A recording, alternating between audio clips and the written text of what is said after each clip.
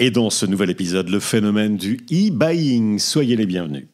Cet épisode est fièrement propulsé par le cabinet d'avocats Laurence Alziari à Nice, votre spécialiste du droit commercial et immobilier.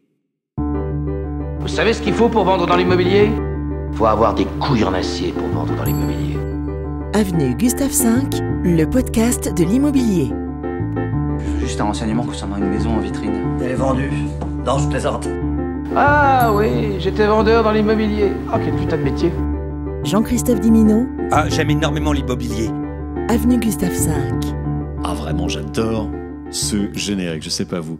Merci encore d'ailleurs euh, à vous tous qui m'écoutez sur différentes plateformes de streaming, notamment Spotify ou Apple euh, Podcast, pour ne citer que, que les plus connus, Deezer bien sûr. Vous êtes très nombreux et euh, on en est à la sixième saison maintenant, voilà, ça, continue encore. Alors, je vous le disais, on va parler, on va décrypter ce phénomène, le e-buying. En gros, ça veut dire quoi? Ça veut dire euh, I pour instantané. C'est l'achat immobilier instantané. C'est la promesse, du moins. Euh, c'est presque instantané. C'est un modèle commercial qui émerge dans, l'univers du, du logement. En France, ça tarde, il faut le dire quand même, à euh, trouver sa place. Mais bon, ça a le mérite d'exister. Gros plan, focus là-dessus. C'est né aux États-Unis. Je vous en dis plus dans quelques instants. Jean-Christophe Dimino, avec vous, pour vous qui ne me connaissez pas, euh, client, futur client, ou alors simple auditeur, agent aussi professionnel de, l'immobilier, vous êtes euh, tous les, bienvenus. Donc le e-buying, l'achat instantané, né pour tout changer aux États-Unis. Et cela représenterait aujourd'hui d'ailleurs là-bas autour des, des 1% de ventes euh, annuelles. Voici un, aperçu des, avantages pour les vendeurs. Avantages, et puis euh, bon, on va aussi remettre ça en perspective. D'abord l'historique. Le e-buying est donc apparu pour la première fois aux États-Unis au début des années euh, 2010. Euh, c'est la société Zillow qui a été l'une des pionnières dans ce domaine, qui a lancé son service Zillow Offers en 2018. Depuis lors, quelques entreprises, y compris des startups telles que Open Door, euh, c'est vraiment euh, la plus connue aujourd'hui, Offerpad, Redfin. Bon, les plus connus, mais euh, qui n'ont pas encore traversé euh, l'Atlantique. Euh, bah, toutes ces startups et ces entreprises qui ont euh, émergé sur, euh, sur ce secteur-là, ce segment de marché, ont rejoint eh bien, euh, le marché du, du e-buying. En France, il y a quelques plateformes, mais la, leader, créée en 2016, s'appelle Homeloop. Vous connaissez peut-être Homeloop, qui a rencontré quelques difficultés financières, redressement, liquidation, et, et a été racheté euh, l'année dernière. Les avantages pour les, pour les hum, vendeurs oui, euh, j'en ai listé 7. Tout d'abord, euh, le confort.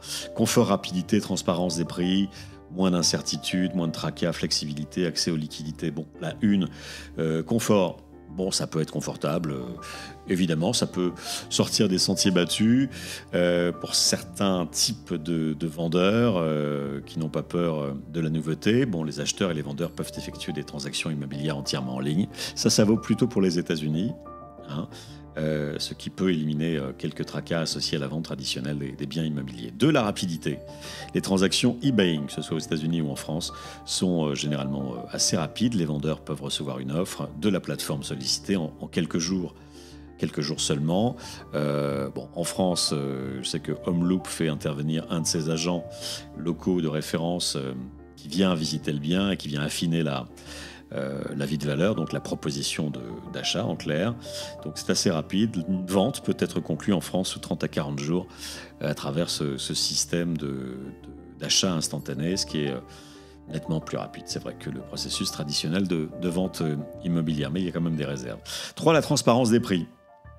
Bon, ça c'est la promesse, c'est un peu le discours corporate de ces plateformes.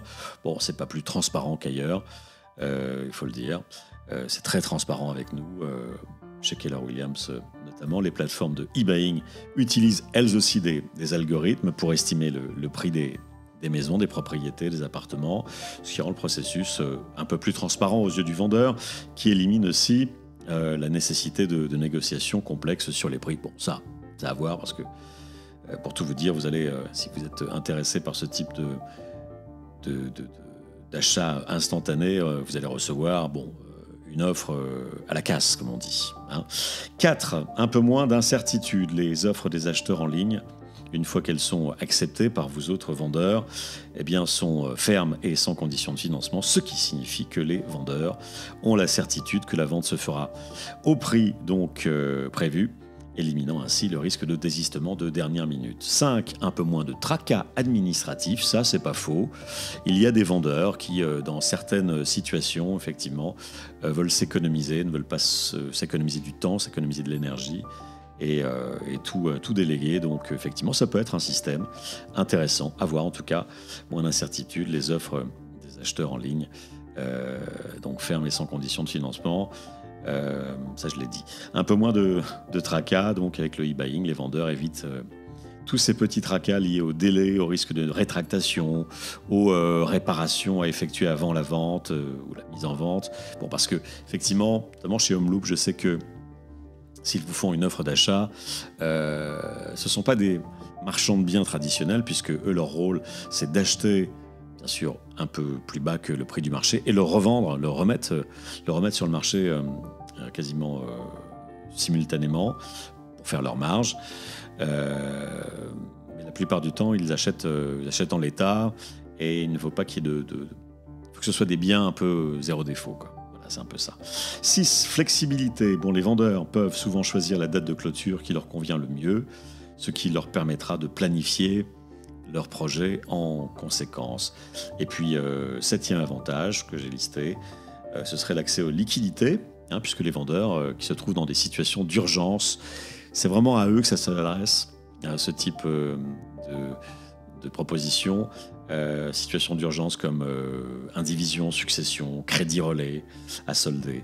Eh bien, les vendeurs, dans ces situations-là, peuvent obtenir l'argent assez rapidement, on l'a dit, sous 30 à 40 jours, ce qui réduit d'autant plus le montant de ce qu'on appelle leur coût de détention. C'est tout ce que, tous les frais fixes euh, liés. Euh, eh bien, chaque mois qui passe, vous, devez votre fraction d'impôts fonciers, euh, d'impôts d'impôts locaux si c'est une résidence secondaire, et puis toutes les charges de collectivité ou les charges d'entretien. Donc ça, effectivement, ça, ça rentre en ligne de compte quand euh, un vendeur, des vendeurs se retrouvent en indivision ou euh, succession à, purger euh, absolument. c'est souvent le dernier recours, si vous voulez, le recours à ce, modèle commercial d'achat instantané. Voilà, peut-être êtes-vous intéressé par ce système.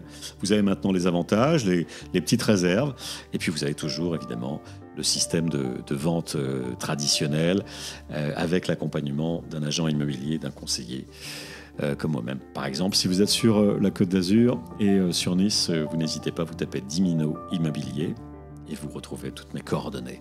Je vous dis à très bientôt donc dans ce podcast euh, Avenue Gustave 5, avenuegustave5.com également pour retrouver toutes mes actualités et toutes les références de notre podcast. L'application, bref, vous avez aussi toutes les références euh, dans la description liées à cet épisode. Je vous dis à très bientôt. Ciao. Pour retrouver toutes les références de ce podcast et contacter directement votre hôte, l'agent Jean-Christophe Dimino, avenuegustave5.com. Avenue Gustave V. Le podcast de l'immobilier.